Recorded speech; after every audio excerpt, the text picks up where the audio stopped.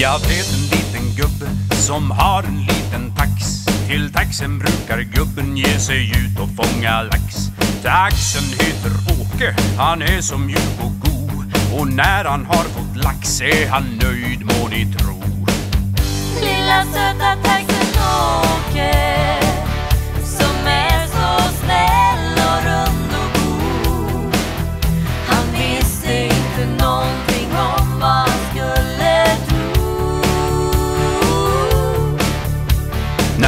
När tog en tugga så bet han i något hårt. Han försökte att få bort det men det var jättesvårt. Till slut så fick han loss den, det var en liten ask.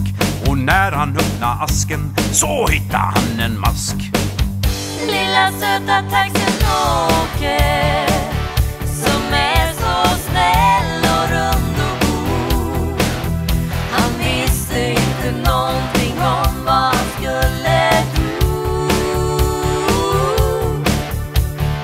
sjutton tänkte Åke, hur har det här gått till?